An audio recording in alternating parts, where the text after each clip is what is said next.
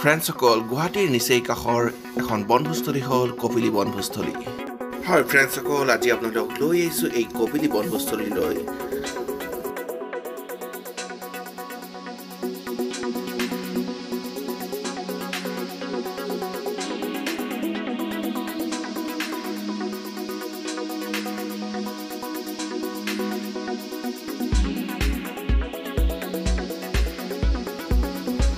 ফ্ৰেণ্ডছসকল এয়া আমি আজি আহি পাইছোঁ কপিলী বনভোজস্থলীলৈ।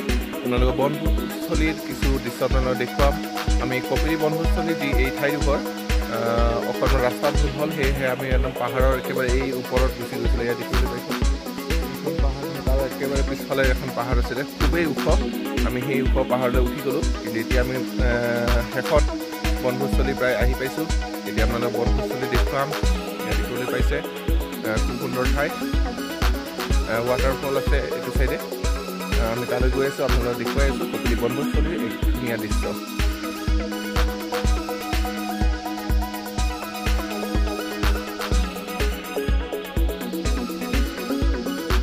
ফ্ৰেণ্ডছসকল বনভোজস্থলী হ'ল এনেকুৱা এখন ঠাই যি ঠাই প্ৰকৃতিৰ এক সৌন্দৰ্যতাৰে ভৰপূৰ হৈ থাকে।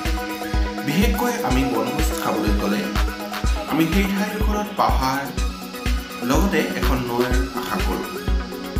নৈখন যদি নিজৰা হয় তেতিয়া সঁচাকৈ সোণত বগা হৈ পৰে।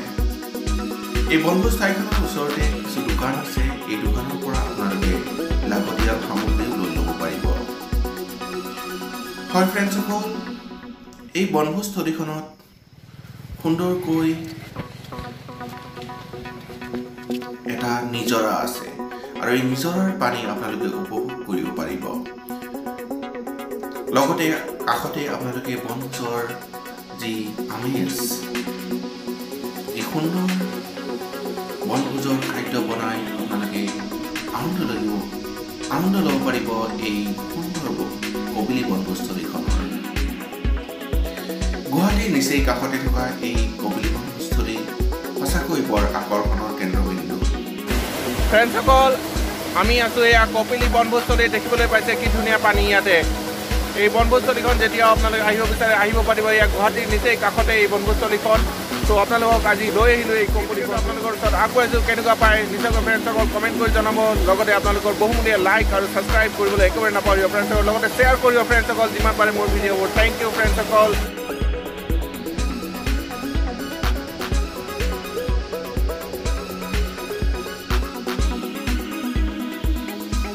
ফ্ৰেণ্ডছসকল আপোনালোকে এই কবিলি বনভোজস্থলীখনলৈ কেতিয়াবালৈ আহিছেনে এই বনভোজস্থলীখন গুৱাহাটীৰ নিচেই কাষতে। হয় ফ্ৰেণ্ডছসকল আপোনালোকে এই বনভোজস্থলীলৈ আহিবলৈ হ'লে খুব এটা বেছি দূৰ যাবলৈ নালাগে। এই বনভোজস্থলীখন গুৱাহাটীৰ পৰা আপোনালোকে ৰাণী অভিমুখে আহিব লাগিব। ৰাণী অভিমুখে ফ্ৰেণ্ডছসকল দেখি আছে বনভোজস্থলী এই ঠাইৰ বিশেষ বিশেষত্ব কি? এই নদীখনেই সুন্দৰ পাহাৰৰ মাজত অৱস্থিত। অহাৰ কাৰণে ৰাস্তা ইমান অসুবিধাজনক নহয় গুৱাহাটীৰ পৰা খুব বিশেষ কাষতে এই ঠাইডোখৰ আহিব পাৰে। বনভোজৰ যি আপলোড আপোনালোকে গুৱাহাটীৰ ওচৰতে ল'ব পাৰিব এই ঠাইডোখৰত আহি। এই বনভোজস্থলীত থকা সুন্দৰ নিজৰাই পৰ্যটকৰ আকৰ্ষণ বিন্দু।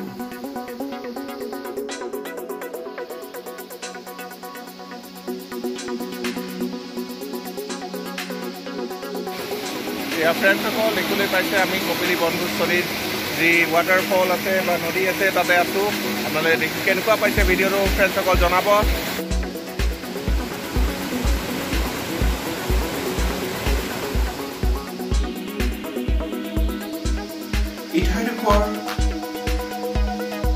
ফটোশ্বুট কৰাৰ বাবে এক সুন্দৰ আৰু আকৰ্ষণীয় ঠাই।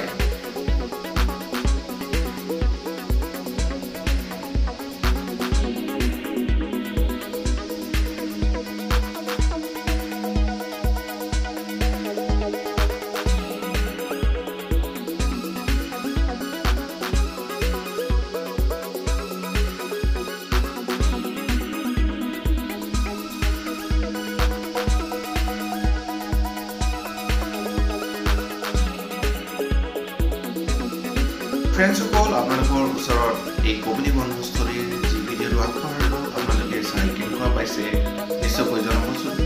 আৰু আপোনালোকে এই বনভোজস্থলীত যদি আহিছিলে এবাৰ আপোনালোকৰ মতামত শ্বেয়াৰ কৰি কমেণ্টত জনাবলৈ নাপাহৰিব ফ্ৰেণ্ডসকল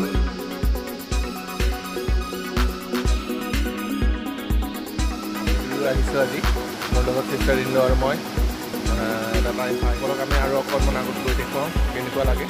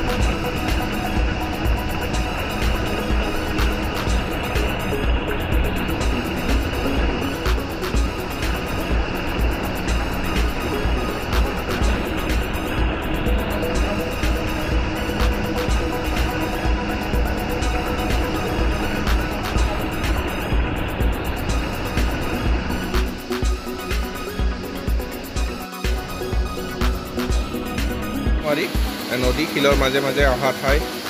খুব সুন্দৰ লাগিছে। বনভোজ প্ৰেমী মানুহবিলাক